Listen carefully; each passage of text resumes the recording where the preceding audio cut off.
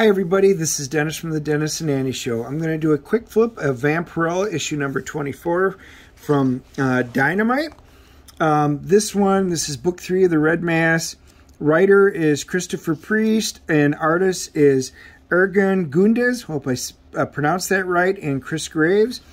Um, I get the cover obviously because it's Parrillo and I get all the Parrillo books. So this wasn't one of my normal titles, but the Parrillo, he's just been killing the art on the covers. So if it's got one, I've been picking up all the covers. Um, I know there are some of you that are big Vampirella fans.